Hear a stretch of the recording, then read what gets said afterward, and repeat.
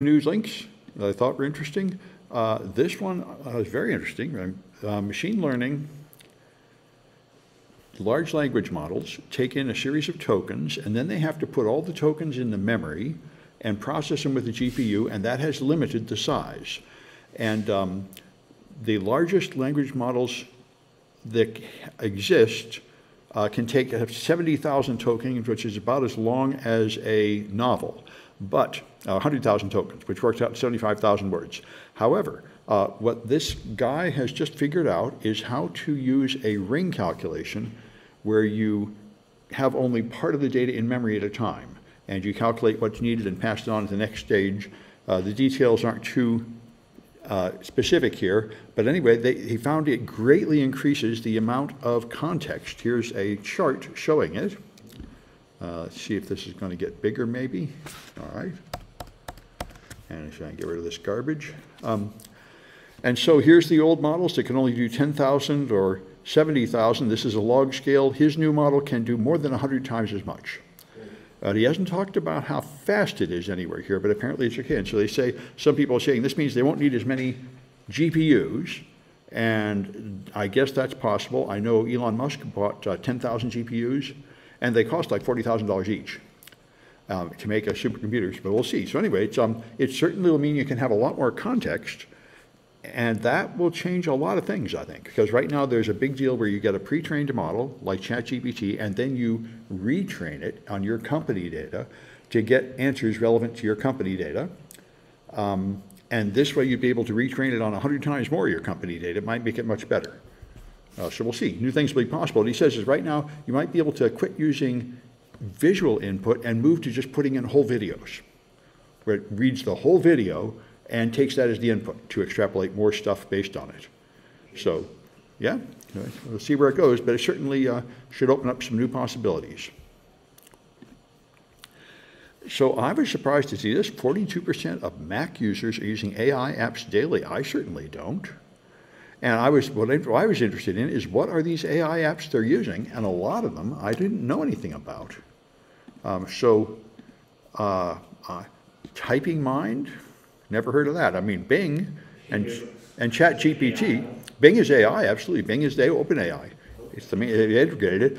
And um, I use Bing and I use Claude and I, and I might use ChatGPT, but I never heard of Elephas or Smart or MacGPT or hardly any of these. Grammarly, I guess, uh, I guess Typing Mind might be like Grammarly. Anyway, I, the thing I got out of this is it'd be worth checking these out and seeing what they are. Apparently, these are all considered very useful, enough that they're commonly used by Mac users. Um, real hard for me to believe that 42% of Mac users are using these things. I wonder if that was a.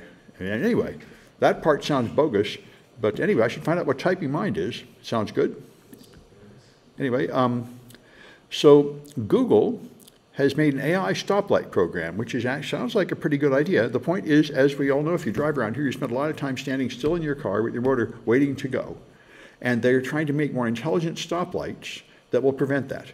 Instead of just going down a cycle of 30 seconds this way, 30 seconds that way, it's going to adjust it to match the demand. Um, so I don't know. It seems to me like they've always had these. They've had like sensors that can just tell if there's a car waiting, and then but anyway, they claim they can save uh, some portion of all the wasted uh, pollution. And I've seen a couple of numbers. I think they say here that 8%, oh, that's right, that's not it. I don't know how much pollution is caused by cars idling, probably not that much. I know 8% of global greenhouse warming comes from concrete, and 4% comes from airplanes. And so there's a lot of push to improve both of those things. In fact, there was another uh, project, I didn't see it in my news here, but it should be there, where someone figured out how to make carbon negative concrete. Um, the concrete is created not with the previous system that involves heating something up, releasing all the CO2, but with a new system that takes waste products from mining and uses it and doesn't require any heat, and it actually sucks up carbon. So uh, that's a famous football player made a startup to uh, to sell those special kind of come on of cement blocks. So we'll see where that goes. Anyway, so Stack Overflow has laid off 100 people. Um, however, they doubled their staff last year. So it may not be all bad, but it probably is just all bad because, I mean, the, uh, the whole point of crowdsourcing your coding is kind of over. ChatGPT and Claude essentially do that for you. So uh, I think Claude in particular pretty much replaces Stack Overflow. All right, get rid of this garbage. So this is pretty amazing. So, um, you know, he, Ron DeSantis in Florida is very, very hostile to education, and he's destroyed their progressive college there and driven away the teachers and the students to just turn it into basically a right-wing conspiracy theory kind of place, which is what Republicans like. And Ella in Louisiana is the same thing. In fact, Louisiana, um, very similar. This guy uh, now a right-winger ran, ran, won the governor office, and this guy personally targeted one of the famous professors at Louisiana State University, and so he's just going to resign rather than fight, because he says, uh, this guy totally wants me fired, and I do not trust my college administration to protect me from him at all, which I must say I don't think I trust mine either. I mean, they can't really. College administrations are pretty much um, very, very helpless and scared and childish, and they just uh, they'll fire people because one, one parent complains. They'll, they just don't want anyone to rock the boat. And so if they get real pressure from their funding from the government, they'll probably just do anything. I remember um, uh, decades ago, UC Berkeley actually, because of Joe McCarthy, uh, forced every professor to sign a loyalty oath saying, I'm not now and I've never been a member of the Communist Party. And for that, UC Berkeley lost all of its top professors for decades. They all left in protest and got jobs at other colleges. It was a huge scandal. In fact, it led to a, um, in order to try to revive UC Berkeley, a financier named Miller started something called the Miller Fellowship to bring in new professors, and that's how I ended up here. I was a Miller Fellow years later. He had was this permanent long-term fellowship that would bring people into UC Berkeley, and it wasn't until I'd had the thing for a couple years I found out the history of it. That's why it existed. It existed to try to refresh the professor pool because they'd all left resigning over the loyalty oath. But this is extremely common, and uh, I don't even think I'm so upset about it as I would have been years ago. It's just the way it is. The, uh, but you understand at a college, the college doesn't protect you very much. Of course, companies don't protect you either. I mean, Elon Musk fires people on a whim. Google fires people. Somebody said they thinks the AI is sentient, so they just fired him. Their trust and safety team at Google tried to actually complain about the comments on YouTube, so they just fired them. And you know, it's you have more job security in the public sector than you do in the private sector. But in both cases, uh, anybody that rocks the boat is pretty much just discarded. Anyway, um, so this is something people are getting pretty excited about. Uh, the problem, there was an iOS update that was really important. The new iPhones were overheating and draining the battery. And they tried blaming apps, and it turned out it was a defect in iOS, and they put out an update to fix it. And this made people say, what if I buy a new iPhone? That thing was put in the box like two years ago or a year ago, so it's not updated. So when I get the phone, the first thing I'm going to have to do is like go through a long update process before I can use it, and that's a bad customer experience. So they have now gonna, gonna have some system where you can put the phone in the sealed box on like an RF pad, and it will send some kind of signal which wakes up the phone. It'll push the update and update the phone in the box. And then the question is, could you use this to infect other people's phones?